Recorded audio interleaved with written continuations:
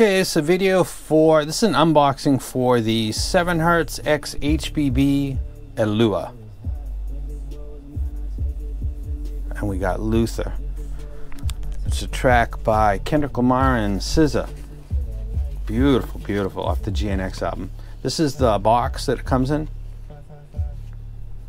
Tip this down just a little bit. See a lot of people out there angry on the internet audio world. People just need to take a breath, go touch grass, enjoy their life. It's music. Your opinion's as valid as somebody thinks it is, and not any bit more. Um, this is the set. Go ahead and take a look.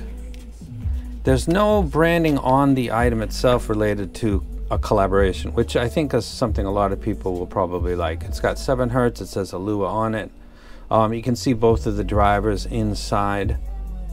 Go ahead and put that down. And there's no branding on the other side either, as far as collaborator, which some people, uh, again, probably will like. This is the tips that usually come with 7 hertz.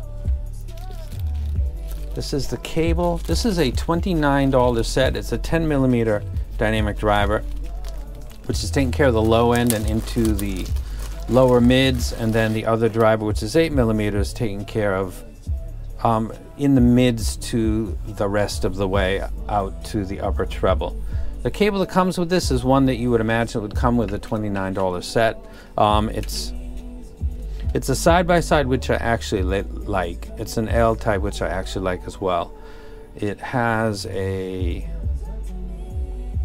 Elua branding on the Y split, and then we get up and it's got a chin slider. It's it's uh so I always do this when I do my videos and show you how easy the cable is to manage and then put it on a table. So I'll do that with this and you can see it kind of not a great cable, but it's it functions and it works. I haven't had any fails or heard of any, but it's not a it's not a quality cable, but again, it's kind of matching for its price range.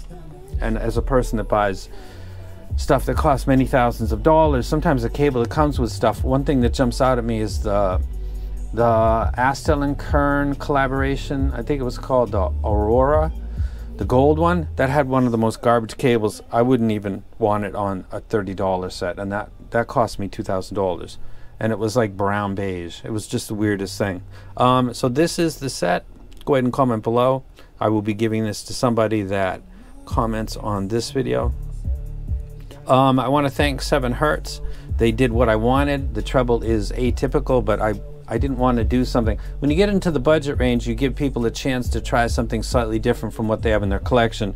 And doing something that's kind of like the KE4 or many variants of that was simply not something that is worth anybody's time, really. The Punch, which is this one right here, um, is a lot like the KE4's type of profile with the full extension, um, peak at 3K, but with a lot more bass, and it's also a tribrid. So there was a target here. This was uh, let's take something that's reasonably affordable and maybe gives people a chance to try something and say, I actually like that. Graphs are grossly over leaned on um, by people. But in a hobby where there's really nothing else, we don't have benchmarks, we don't have we don't have real um, objective data beyond a graph. And as I've said many times, a graph is objective data really until you open your mouth and then it immediately switches into a subjective exercise because how you take that objective data and explain it to your listener using your library which might be different from our, others and how much you actually like bass remember your ears and how you think something should sound is is yours trained ears is a, a load of crap absolute load of crap. I've talked to people that have trained ears and asked them to listen to and for certain things, and they've been able to do it. So it's nice to be qualified, but I just don't know what that qualifies you for. But that's the Elua, um, and I'm I'm happy and satisfied with it. Another thing that's not matching something that you don't have in your collection. I hope everybody's having a great um, holiday season, and I'll be speeding up my output probably from this week. And I'm out.